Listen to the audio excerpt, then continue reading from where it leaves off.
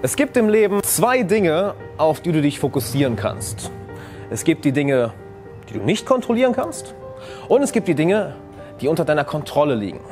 Und den Fehler, den die meisten Menschen machen, ist, sie fokussieren sich auf die falschen Dinge. Sie setzen ihre ganze Aufmerksamkeit auf das, was sie nicht kontrollieren können. Die Meinung anderer Menschen, die Ergebnisse, die sie in ihrer Arbeit erreichen, das, was in der Außenwelt passiert, wie andere Menschen sie wahrnehmen oder wie sie auf sie reagieren.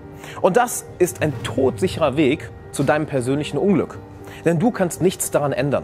Du kannst lernen, damit zu leben. Du kannst lernen, damit umzugehen, diese Dinge zu akzeptieren. Doch am Ende des Tages hast du nur eine einzige Macht.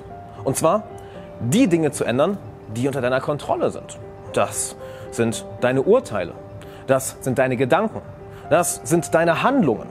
Und diese Dinge sind am Ende des Tages wirklich die Quelle deines Glücks. Wenn du also anstrebst, ein gutes Leben zu führen, glücklich zu sein, erfolgreich zu sein, dann tust du gut daran, dich nur auf die Dinge zu fokussieren, die du wirklich ändern kannst, die du kontrollieren kannst.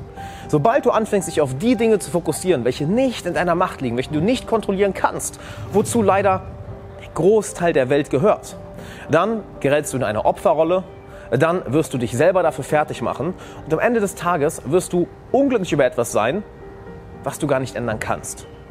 Egal in welcher Situation, frage dich immer, was kann ich kontrollieren und was ist außerhalb meiner Kontrolle. Und dann fokussiere dich nur auf das, was du ändern kannst.